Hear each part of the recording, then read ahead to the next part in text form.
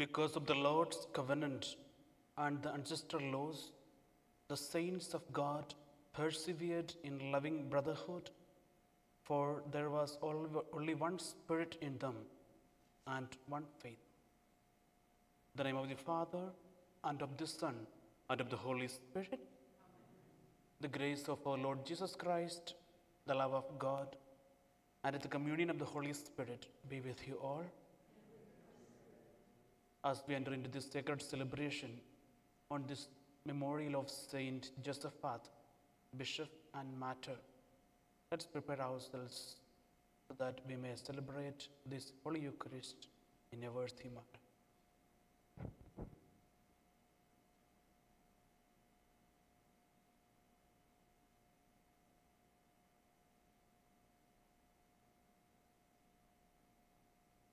Were sent to heal the contrite of heart. Lord, have mercy. You came to call sinners. Christ, have mercy. You are seated at the right hand of the Father to intercede for us. Lord, have mercy. May Almighty God have mercy on us, forgive us our sins, and bring us to everlasting life. Let's pray.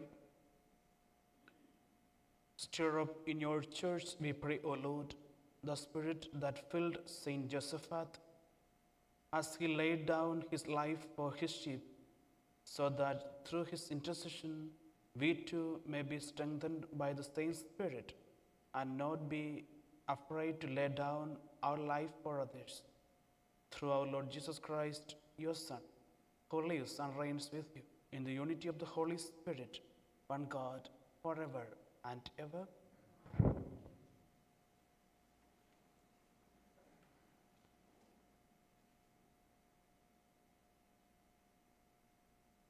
A reading from the letter of Paul to Philemon. I have indeed received much joy and encouragement from your love, because the hearts of the saints have been refreshed through you, my brother. For this reason, though I am bold enough in Christ to command you to do your duty, yet I would rather appeal to you on the basis of love.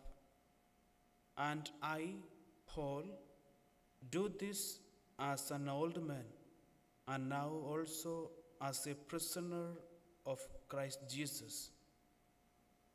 I'm appealing to you for my child Onesimus, whose father I have become during my imprisonment. Formerly he was useless to you, but now he is indeed useful both to you and to me. I am sending him, that is, my own heart, back to you. I wanted to keep him with me so that he might be of service to me in your place during my imprisonment for the gospel. But I prefer to do nothing without your consent in order that your good deed might be voluntarily voluntary and not something forced.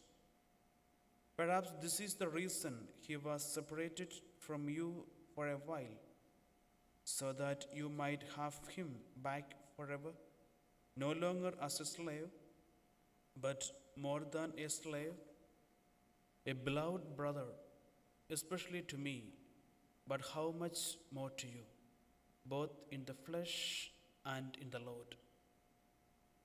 But if you consider me your partner, welcome him as you would welcome me.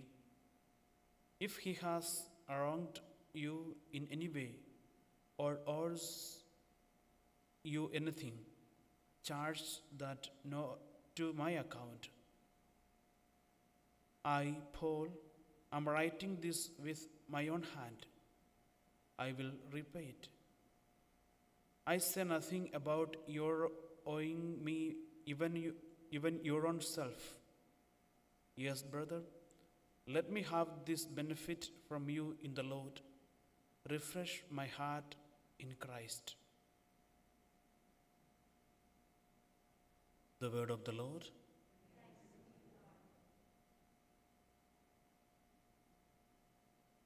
Blessed are they whose help is the God of Jacob. Blessed are they whose help is the God of Jacob.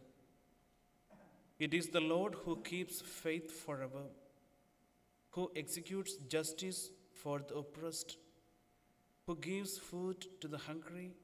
The Lord sets the prisoners free. Blessed are they whose help is in God Jacob.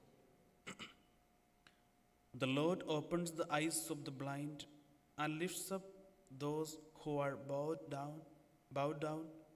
The Lord loves the righteous and watches over the strangers.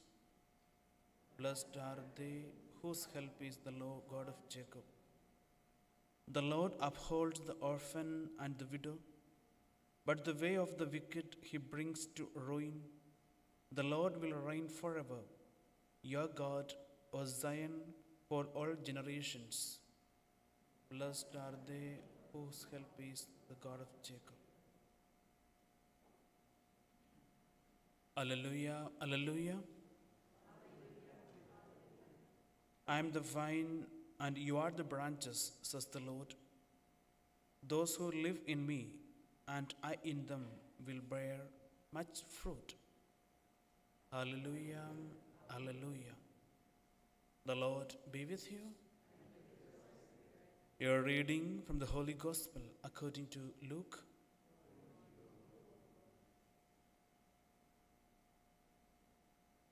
Once Jesus asked by Jesus was asked by the Pharisees when the kingdom of God was coming.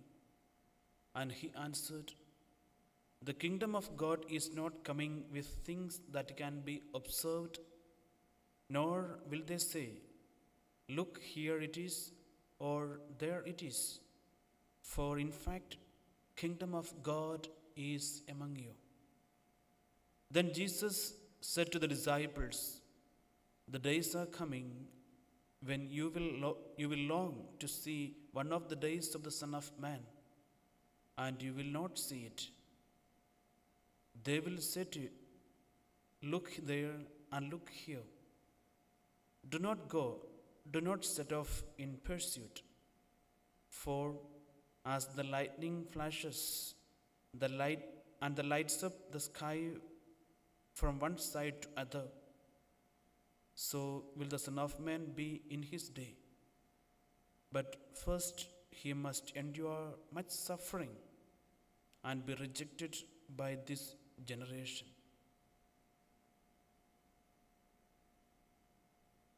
The Gospel of the Lord.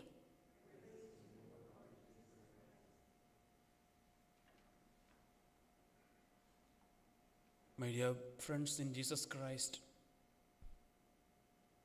we are coming almost to the close of yet another liturgical year.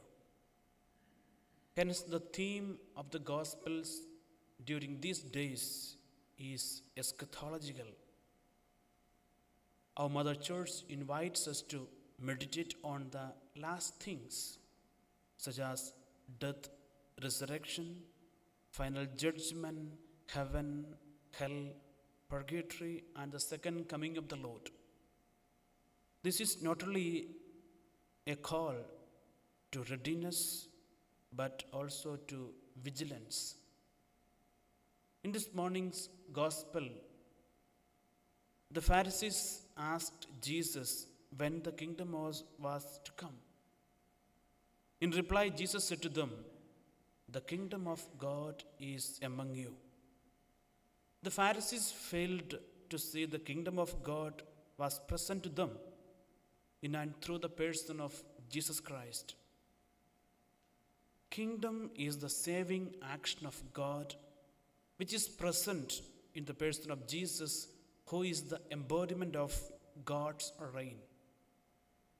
He is the living incarnation of God's loving power revealed in his teaching, in his many healing of the sick, in casting out evil spirits, and his loving compassion for the sinners and the outcasts. These are all proof that the reign of God is in their midst. The risen Lord would say to us the same today. The kingdom of God is among you. Wherever the Spirit of Jesus is alive and active, the kingdom of God is there. It is there when those who had been made to feel unwanted are given a sense of home.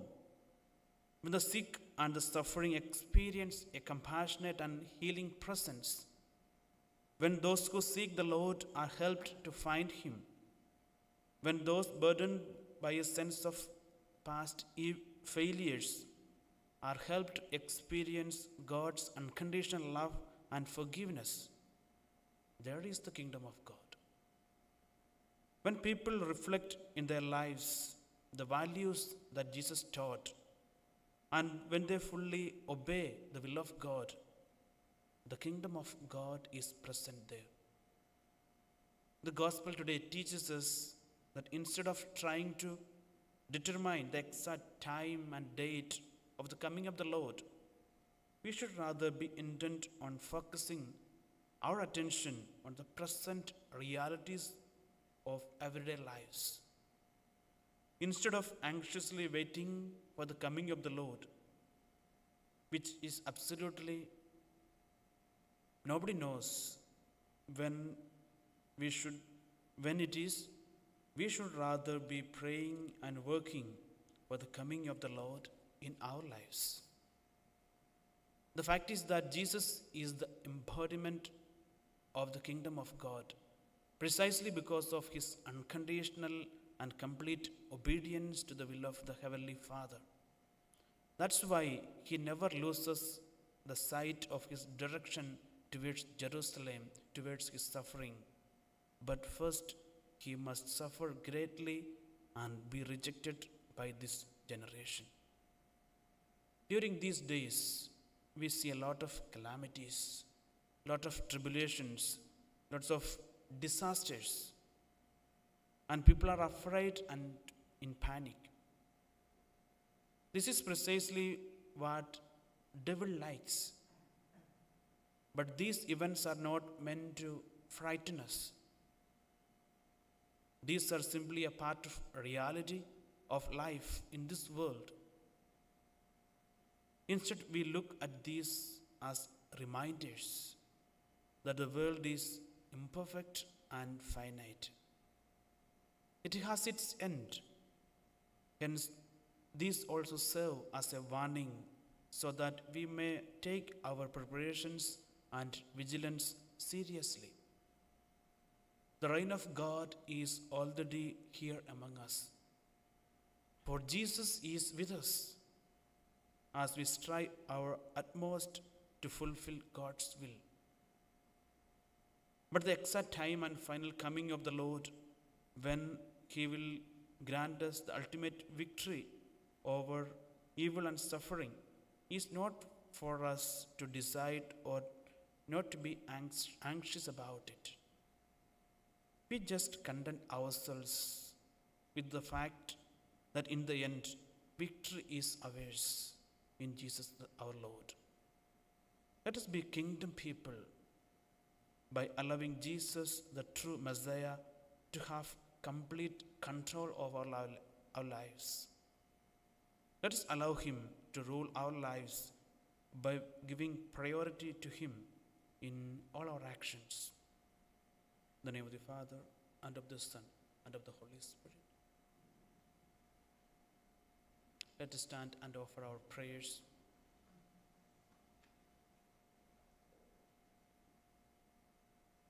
Lord, we pray for the Holy Catholic Church, for the intentions of our Francis.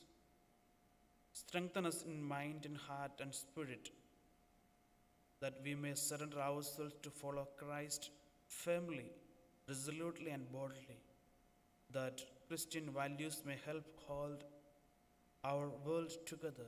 We pray to the Lord.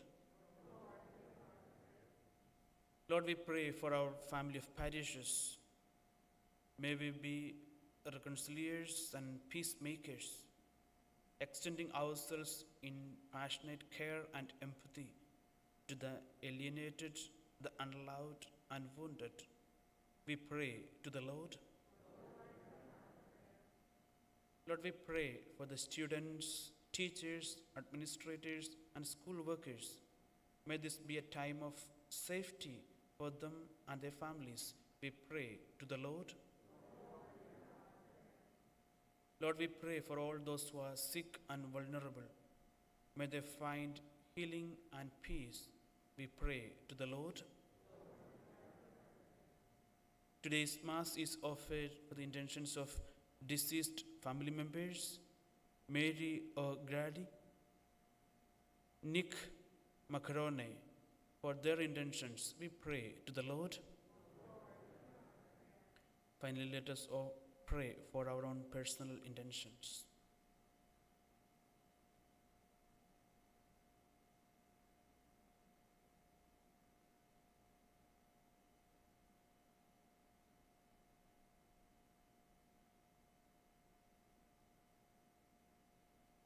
Gracious and loving Father, we thank and praise you for your compassion and love in our lives.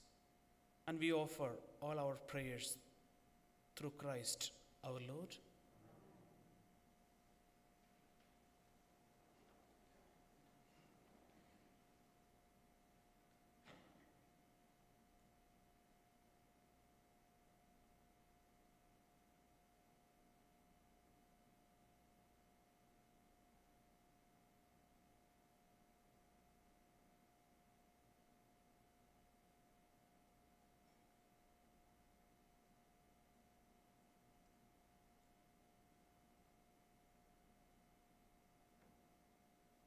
Blessed are you, Lord, God of all creation, for through your goodness we have this bread to offer, fruit of the earth, work of human hands.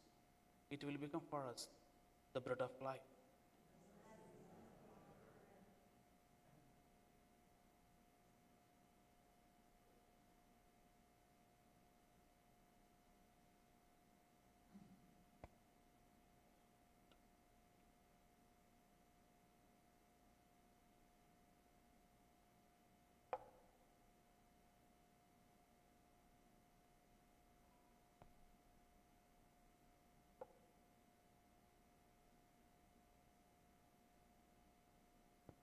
Blessed are you, Lord, God of all creation, for through your goodness we have this wine to of the vine, work of human hands, it will become our spiritual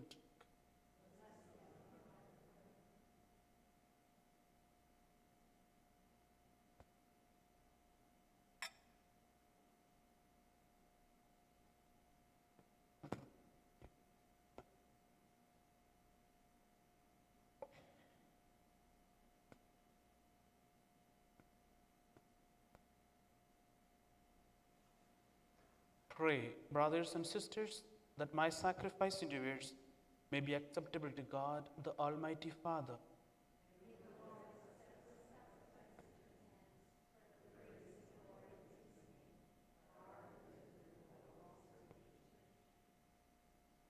Most merciful God, pour out your blessing upon these offerings and confirm us in the faith that Saint Josaphat professed by the shedding of his blood through Christ our Lord.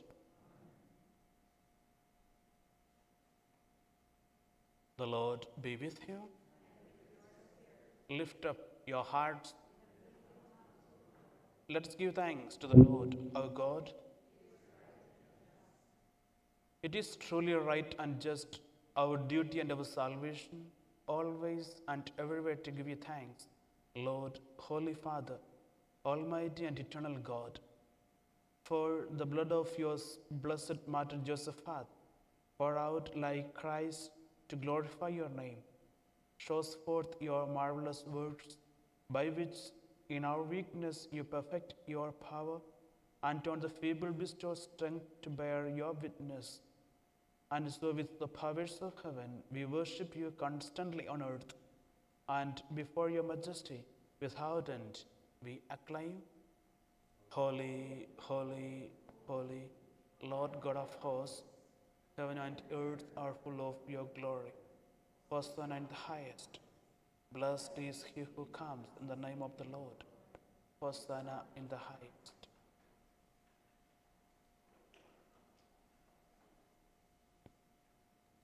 You are indeed holy, O Lord, the fount of all holiness. May holy, therefore, these gifts, we pray, by sending down your Spirit upon them like the dewfall, so that they may become for us the body and blood of our Lord Jesus Christ.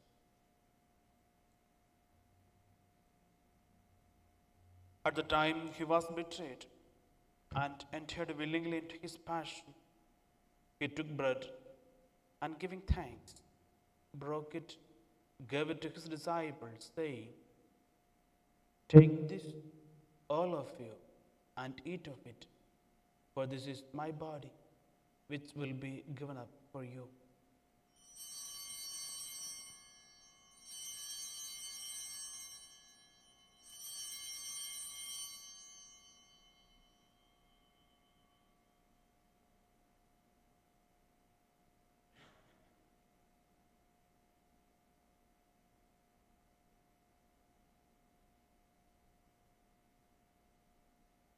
In a similar way, when supper was ended, he took the chalice, once more giving thanks. He gave it to his disciples, saying, Take this, all of you, and drink from it, for this is the chalice of my blood, the blood of the new and eternal covenant, which will be poured out for you and for many. For the forgiveness of sins, do this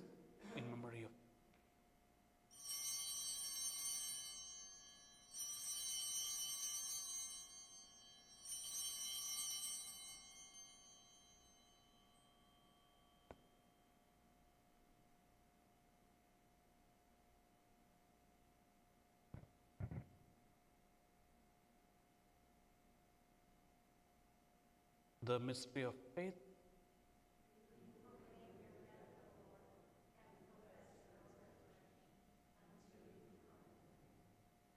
Therefore, as we celebrate this memorial of his the saving death and resurrection of, we offer you, Lord, the bread of life and the chalice of salvation, giving thanks that you have held us worthy to be in your presence and minister to you. Humbly we pray that partaking of the body and blood of Christ, we may be gathered into one by the Holy Spirit. Remember, Lord, your church spread throughout the world and bring her to the fullness of charity together with Francis, our Pope, Ronaldo Peter, our Bishop, Joseph, his auxiliary, and all the clergy. Remember also our brothers and sisters who have fallen asleep in the hope of the resurrection and all who have died in your mercy. Welcome them into the light of your face. Have mercy on us all, we pray, that with Blessed Virgin Mary, Mother of God, with the Blessed Joseph, her spouse, with the blessed apostles and all the saints, Saint Josaphat, who have pleased you throughout the ages, we may merit to be co-heirs to eternal life and may praise and glorify you through your Son, Jesus Christ.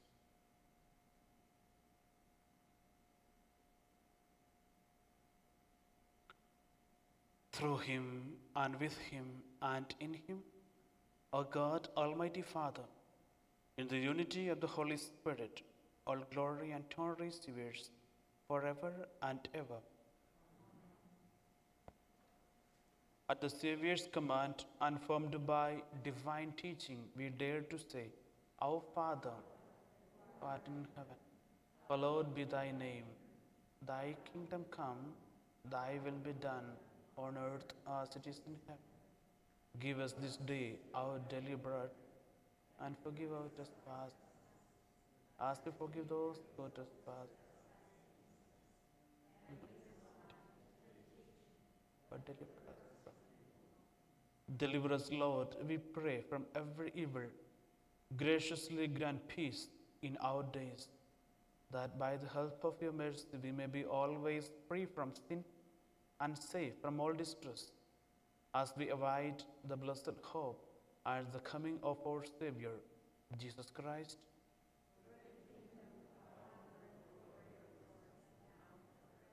Lord Jesus Christ, who said to your apostles, Peace I leave you, my peace I give you, look not on our sins, but on the faith of your church, and graciously grant her peace and unity in accordance with your will, who live and reign forever and ever.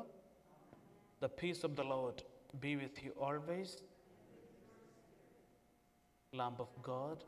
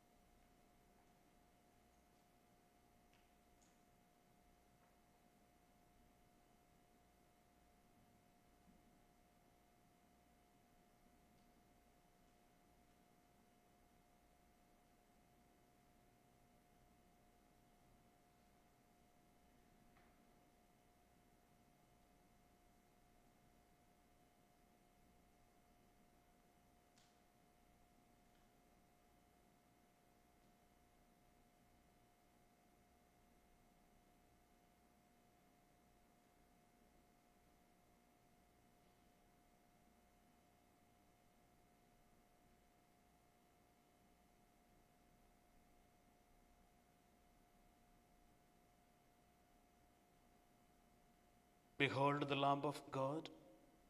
Behold him who takes away the sins of the world. Blessed are those called to the supper of the Lamb. Lord, I am not worthy, but word, my soul shall be healed.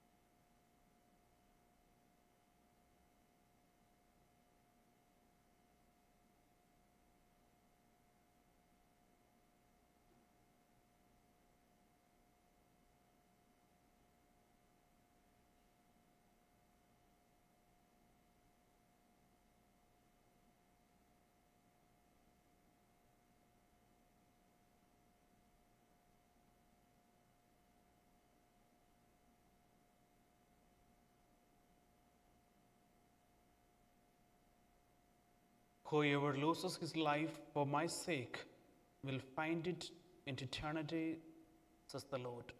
Let us pray.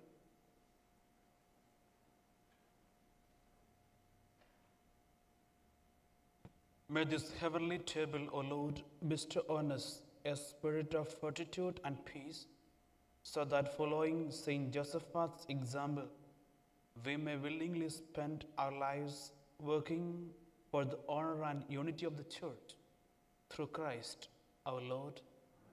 The Lord be with you. May Almighty God bless you, the Father and the Son and the Holy Spirit. The Mass is ended. Go in peace, glorifying the Lord by your life. Saint Michael the Archangel, defend us in battle. Be our protection against the wickedness and snares of the devil. May God rebuke him, we humbly pray.